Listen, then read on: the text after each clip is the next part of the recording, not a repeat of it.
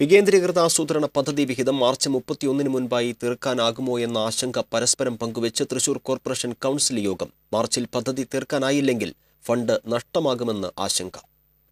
നിലവിലുള്ള പദ്ധതി വിഹിതത്തിനു പുറമെ സർക്കാർ അധികമായി അനുവദിച്ച പതിനൊന്നര കോടി രൂപയുടെ പദ്ധതി തയ്യാറാക്കുന്നതിന്റെ ഭാഗമായാണ് കോർപ്പറേഷൻ പ്രത്യേക കൗൺസിൽ ചേർന്നത്. വനിതാ ഭവന നിർമ്മാണ പദ്ധതിയിൽ അറുപത്തേഴ് പേർക്കായി തുക വർദ്ധിപ്പിച്ച് അറുപത്തഞ്ച് ലക്ഷം കോടി വകയിരുത്താൻ യോഗം തീരുമാനിച്ചു. മാലിന്യ നിർമ്മാർജനത്തിന് സ്ഥലം വാങ്ങാൻ ഒരു കോടി പതിനഞ്ച് ലക്ഷവും ഉൽപാദന മേഖലയിൽ നാൽപ്പത്തൊൻപത് ലക്ഷവും ജില്ലാ ജനറൽ ആശുപത്രി വികസനത്തിന് ഒരു കോടിയും പാലിയേറ്റീവ് പ്രവർത്തനങ്ങൾക്ക് ഇരുപത്തിനാലര ലക്ഷവും തെരുവ് വിളക്കിന് മുപ്പത്തേഴ് ലക്ഷവും കിഴക്കേക്കോട്ട ഷോപ്പിംഗ് കോംപ്ലക്സ് പൂർത്തീകരിക്കാൻ ഇരുപത്തൊൻപത് ലക്ഷവും വകയിരുത്തിയിട്ടുണ്ട്. പശ്ചാത്തല മേഖലയ്ക്കായി ഓരോ ഡിവിഷനിലും പതിമൂന്ന് ലക്ഷം വീതം മൊത്തം ഏഴ് കോടി പതിനഞ്ച് ലക്ഷവും നീക്കിവെച്ചിട്ടുണ്ട്.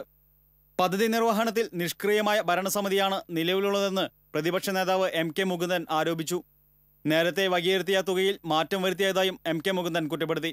ടാറിങ്ങിനായി നൂറ്റി എൺപത്തഞ്ച് ടെൻഡറുകൾ പൂർത്തീകരിച്ചിട്ടുണ്ടെന്നും ടാർ ലഭ്യമാക്കാനുള്ള നടപടി സ്വീകരിച്ചതായും ഉദ്യോഗസ്ഥർ വിശദീകരിച്ചു. പതിനേഴ് കുടിവെള്ള പദ്ധതികളുടെ തുക കെട്ടിവെച്ചിട്ടുണ്ടെന്നും ഉദ്യോഗസ്ഥർ പറഞ്ഞു.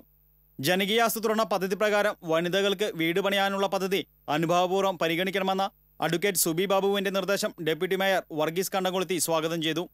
പുതിയ സർക്കുലർ അനുസരിച്ച് രണ്ടായിരത്തി എട്ടിന് മുൻപ് നികത്തിയ പാടങ്ങളിൽ വീട് നിർമ്മിക്കാൻ അനുമതി നൽകാനാകുമെന്നും ഇതിനായി പ്രത്യേക നടപടി സ്വീകരിക്കുമെന്നും പദ്ധതി വിഹിതം ചിലവഴിക്കാൻ എല്ലാവരും ഒറ്റക്കെട്ടായി പ്രവർത്തിക്കണമെന്നും ഡെപ്യൂട്ടി മേയർ വിശദമാക്കി.